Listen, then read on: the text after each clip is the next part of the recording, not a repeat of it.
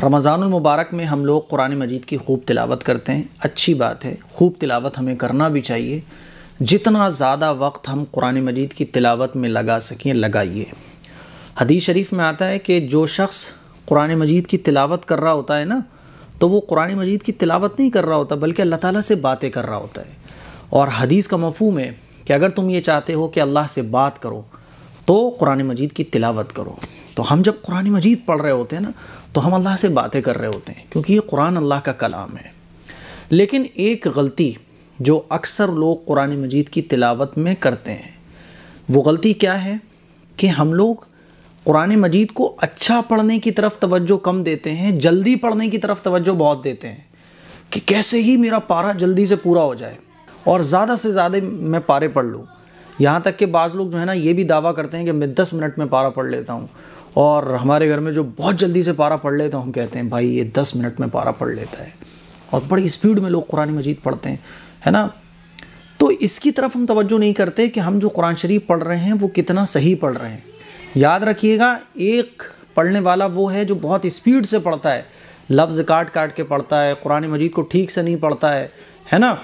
वो दस पारे पढ़ रहा है एक दिन में, और एक शख्स वो है जो कुरान मजीद को अच्छी तरह से पढ़ रहा है लफ्ज़ों की अदायगी के साथ पढ़ रहा है, आराम से पढ़ रहा है, लेकिन साफ़ सुथरा अच्छे अंदाज में कुरान मजीद की वो तिलावत कर रहा है, लेकिन वो आधा पारा या एक पारा रोज़ाना पढ़ पाता है।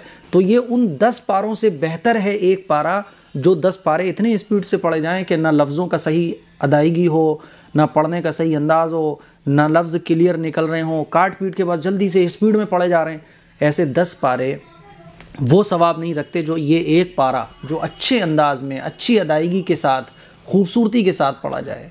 इसीलिए हमारी बहनें, हमारे भाई कुरान मजीद की जब रमज़ान में तिलावत करें तो इसका ख्याल रखें कि हम जो पढ़ रहे हैं ना, वो क्लियर निकलना चाहिए, साफ़ निकलना चाहिए।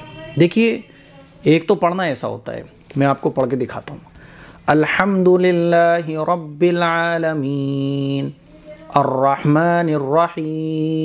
ये ठहर ठहर कर है। और साफ़ सुथरा है, लफ्ज़ एकदम क्लियर निकल रहे हैं। लफ्ज़ चब नहीं रहे, कट नहीं रहे। और एक पढ़ने वाला है जो ऐसे पढ़ रहा है आलमीन, अर्रहमान रहीम अब देखिए, लफ्ज़ कट भी रहे हैं, ये मैंने पढ़ के बताया है, लेकिन ऐसा नहीं पढ़ना चाहिए।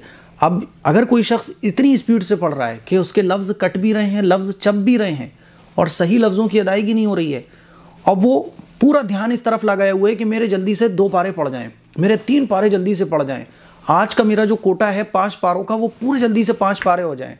तो याद रखिएगा, मैं हमेशा एक बात कहता हूँ कि अल्लाह ताला क्वालिटी देखता है, क्वांटिटी नहीं देखता। आपने दस पारे पढ़े, पंद्रह पारे पढ़े, अल्लाह ताला ये नहीं देखता, क्वांटिटी नहीं देखता, बल्कि अल्लाह ताला क्वालिटी देखता है कि आपने किस क्वालिटी के साथ पारे पढ़े हैं। आपने आधा पारा पढ़ा है, लेकिन किस अंदाज में पढ़ा है, उम्दा उम्दा क्वालिटी के साथ पढ़ा है, तबीयत लगा के पढ़ा है और अच्छी आवाज़ के साथ पढ़ाए, अच्छी लय बना के पढ़ाए। अल्हम्दुलिल्लाह रब्बिल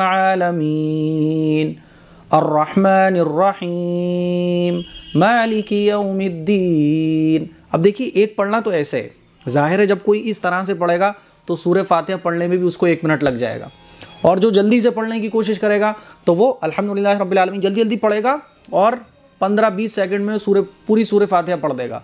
लेकिन याद रखिएगा, ये जो एक मिनट में सूर्य फातिहा पढ़ी जा रही है, अच्छी अदायगी अदायगी के साथ, अच्छी आवाज़ में, खूबसूरत अंदाज में, है ना, बहुत अच्छे तरीके से पढ़ी जा रही है, ये सवाब में ज़्यादा है। इसीलिए हमारी बहनें और हमारे भाई इस बात को अच्छे तरीके से समझें कि कुरान मजीद की तिलावत जो होना चाहिए, वो उम्दा अंदाज में होना चाहिए। अल्लाह का कलाम है ये ये अल्लाह का कलाम है। जितना खूबसूरती खूबसूरती के साथ आप अल्लाह के कलाम को पढ़ सकते हो, जितनी अच्छी आवाज़ बना सकते हो, जितना बेहतरीन अंदाज में पूरी जान लगा दो कुरान मजीद को खूबसूरत तरीके से पढ़ने में। चाहे पूरे दिन में एक पारा पढ़ा जाए, चाहे आहिस्ता पढ़ा जाए, मत परेशान हो इस चक्कर में। बहुत सारे लोग इसी चक्कर में परेशान रहते हैं, मेरी स्पीड बड़ी स्लो है भाई, मेरी स्पीड बड़ी स्लो यार 45 मिनट एक पारे में लग जाते हैं। वो कितनी स्पीड में पढ़ता है 20 मिनट में पारा पढ़ लेता है। 20 मिनट में 25 मिनट में, एक घंटे में, इस चक्कर में बिल्कुल मत पढ़ो। इस चक्कर में पढ़ो कि मैं जितना भी कुरानी मजीद की तिलावत करूँगा, वो उम्दा अंदाज में करूँगा। इसकी हमें फ़िक्र करना चाहिए।